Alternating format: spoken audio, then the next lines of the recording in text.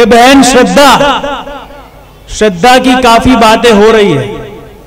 मैं चाहता हूँ और हमारी पार्टी भी चाहती है कि जो भी श्रद्धा का कातिल है उसको सजा मिलनी चाहिए। लेकिन बिल्किस बानू को बिल्किस बहन को भी नहीं भूलना चाहिए। उसके साथ भी इंसाफ होना चाहिए। क्या बोलते हो भाई लोग? होना चाहिए ना इंसाफ। हम धर्म की राजनीति नहीं करते। हमारा प्लेटफॉर्म हमारा मकसद यही है कि हमारे एरिया का डेवलपमेंट हो। दाड़ी लिमड़ा बैरामपुरा जमालपुर बापूनगर और काफ़ी सारे ऐसे इलाके हैं जहाँ स्कूल नहीं है जहाँ कॉलेज नहीं है। हम लोग को पढ़ने के लिए बाहर जाना पड़ता है। मैं खुद भी मैं खुद भी मैकेनिकल इंजीनियर हूँ और मैंने पढ़ाई। हमारे एरिया में स्कूल ही नहीं है ना इंजीनियरिंग कॉलेज है। पढ़ने के लिए लोग बाहर एडमिशन लेते हैं। मुस्लिमीन के, हमारे पार्टी के अशफाक खान से गुजारिश करूँगा कि वो माइक पर आए और अपनी कुछ बातें रखें, जोरदार तालियों से स्वागत किया जाए।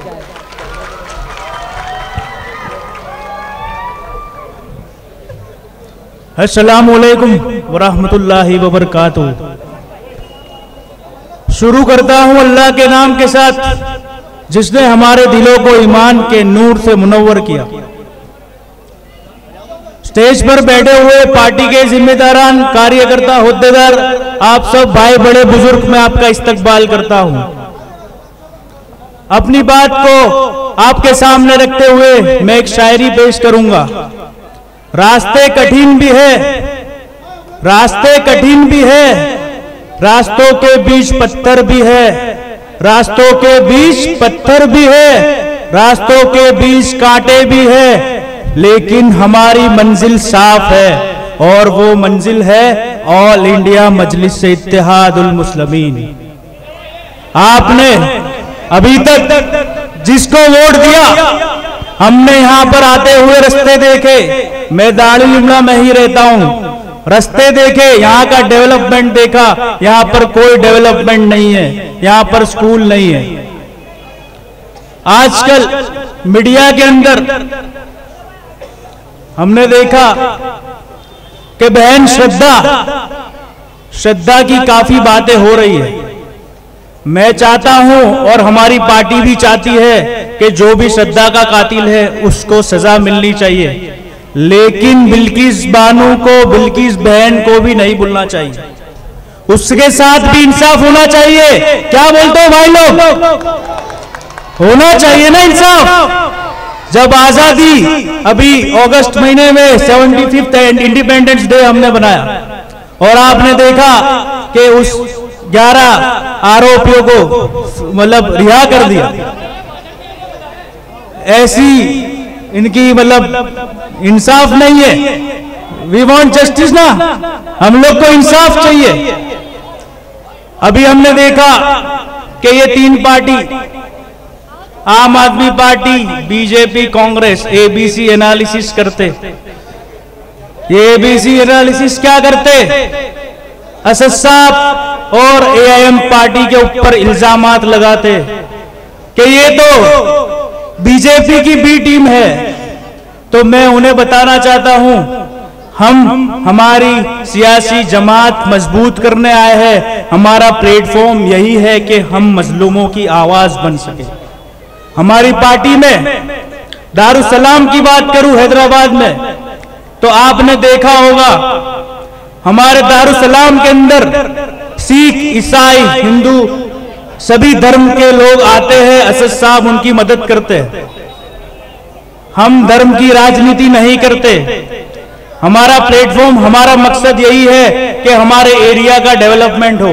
दाड़ी लिमड़ा बैरामपुरा जमालपुर बापूनगर। और काफ़ी सारे ऐसे इलाके हैं जहाँ स्कूल नहीं है, जहाँ कॉलेज नहीं है। हम लोग को पढ़ने के लिए बाहर जाना पड़ता है। मैं खुद भी, मैं खुद भी मैकेनिकल इंजीनियर हूँ। और मैंने पढ़ाई। हमारे एरिया में स्कूल ही नहीं है, ना इंजीनियरिंग कॉलेज है। पढ़ने के लिए लोग बाहर एडमिशन लेते हैं। रही बात, अभी कुछ लोग दिल्ली से आए हैं। कहा से आए? दिल्ली से आए क्या बांटना है? फ्री की रेवड़ी। क्या? फ्री की रेवड़ी। अरे भाई, जब आप दिल्ली के अंदर बैठे थे, आप ने इल्ज़ाम लगाया, जब कोविड 2019 के अंदर जब कोविड आया था तो ये लोगों ने तबलीगी जमात के मरकज पर इल्ज़ाम लगाया और उनको कोर्ट के अंदर तक और जेल के अंदर मतलब भेजा। आप ऐसे चाहते हो कि आप लोगों की इंसाफ की बात करें? ऐसे इंसाफ नहीं होगा। ऐसे इंसाफ नहीं होगा। मीडिया के अंदर बीच में किसी ने सवाल मीडिया वाले भाई ने सवाल किया। सवाल ये किया कि आप हम मुसलमानों की बात क्यों नहीं करते? हम दलितों की बात क्यों नहीं करते? हम आदिवासियों की बात क्यों नहीं करते? तो उन्होंने बोला, हम तो एजुकेशन की बात करते हैं। अरे आप एजुकेशन की बात तो करते हैं, लेकिन इंसाफ की बात नहीं करते। आप जो गारंटी कार्ड बांट रहे हो, मैं आपसे पूछना चाहता हूँ, आपने हमारी मस्जिद की गारंटी नहीं दी, आपने हमारे हिजाब की गारंटी नहीं दी, आपने हमारी हक बात पर बात करने की बात नहीं की। आप पर यकीन नहीं है। आप पर यकीन नहीं है। और इसीलिए एम आई एम का ये प्लेटफॉर्म है, जहाँ पर हर मजलूमों की आवाज़ निकली। हर मजलूमों के लिए हम खड़े रहेंगे। इंशाल्लाह, चाहे वो पुलिसकर्मी हो, चाहे वो गवर्नमेंट एम्प्लॉय हो, चाहे वो स्टूडेंट हो पुलिसकर्मी की भी बात करता हूँ। तो सैल्यूट करता हूँ ये जो काम करते हैं। अल्हम्दुलिल्लाह, मेरी जमात के अंदर भी बहुत सारे पुलिसकर्मी हैं, मैं उनको सलाम करता हूँ। ग्रेड पे की बात करूँ, ये ग्रेड पे की रेवड़ी दे दी इन्होंने। पुलिस प्रशासन से बात करता हूँ इंशाअल्लाह अगर हमारे एमआईएम के एमएलए जीतेंगे तो ये भी एक टॉपिक रहेगा। यहाँ के जो कौशिका मैडम परमार को आप जीत दिलाइए, मैं उनसे ये अपील करूँगा कि आपका जो ग्रेड पे का मसला है, इंशाल्लाह वो भी हल किया जाएगा।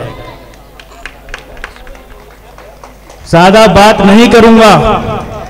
आपने मुझे सुना, उसके लिए बेहद शुक्रिया। और भी मेहमान, और भी लोग, जिम्मेदार लोग बात करना चाहते हैं आपके सामने। अस्सलाम वालेकुम खुदाफिज इंशाल्लाह मौका मिला तो मैं आपके सामने और भी बात करूँगा। खुदाफिज।